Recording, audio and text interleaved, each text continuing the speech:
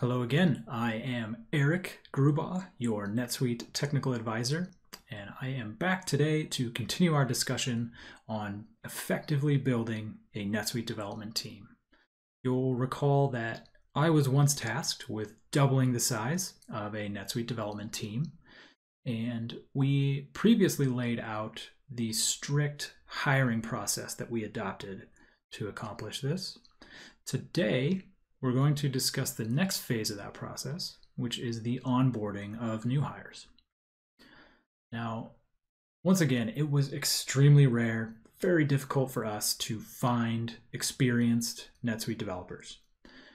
Uh, whenever we hired someone, we had to train them ourselves. So at the time, we had no structured training. New hires, new developers would spend about a week shadowing the senior developer on their team, and then we would throw them into the deep end, uh, straight into smaller client work. Um, this was very stressful for everyone and also very ineffective and ultimately led to very high turnover.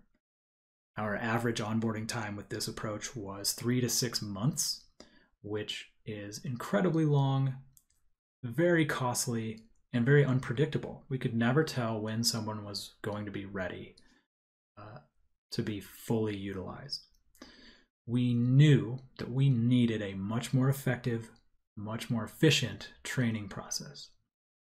So, based on our previous attempts, we knew that locking new hires away to watch NetSuite videos on their own or sending them off to NetSuite courses on their own was just not effective. Um, it was far better for new hires to get their hands dirty with practical examples right away. Um, this led us to design our own mock project within NetSuite. Um, each new hire would implement this project before they were actually placed with their team um, on client work. So, this project was not trivial examples. It was a series of tasks and lessons relevant to the actual work that the new hire would be doing with their team. We wanted the training program to mimic our day to day development processes as closely as possible. So the training project was built inside our actual project management system. It had a backlog of daily tasks and goals laid out for the new hire. Every single task had a problem statement, a list of expected outcomes, how things should work when they're done, and maybe most importantly, a list of resources that were related to the topic that the new hire could use to effectively teach themselves how to solve the problem.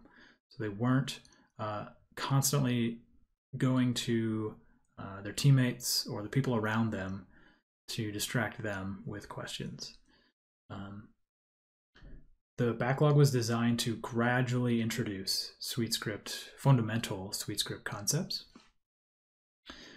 And uh, the project backlog was templatized so that we could easily clone it for every new hire that came on board. Um, the process would start with the new hire's manager uh, having a kickoff meeting to set the expectations. And our expectations were that the candidate would finish the project within 30 days. And we needed people who would ask questions when they got stuck rather than spinning their wheels and staying silent. We wanted to establish early on that asking questions is encouraged, getting stuck is okay, but staying silent is not. Uh, new hires would have a daily progress review with their manager took about 10 minutes, and the focus was on one core question What did you learn today? Um, the new hire every day was expected to explain what they learned or highlight where they were stuck, what wasn't making sense. A lack of questions or insufficient explanations was a clear indicator to us of a lack of involvement or motivation in the process.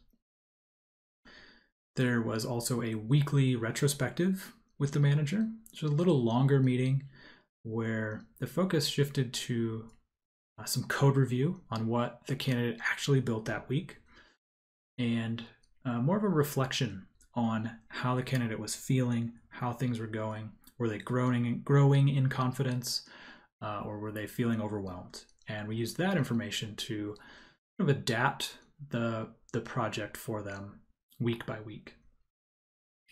And lastly, at that 30 day mark, we would have a formal performance review where the manager would decide, you know, if if they were done with the project, was it acceptable quality?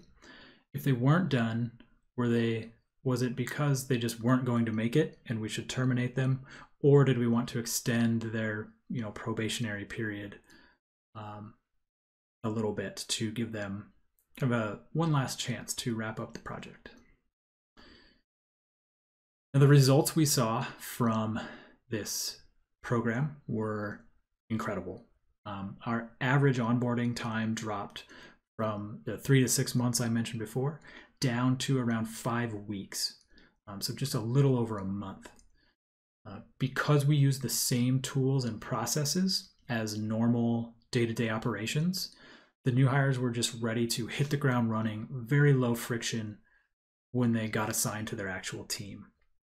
Um, the increased structure and the openness with the manager, those open, free, frequent uh, contact points, uh, made for much better relationships, much lower stress, which ultimately, uh, much higher confidence coming out of the program, which I believe ultimately led to much lower turnover among our developers. We had much higher retention uh, as well.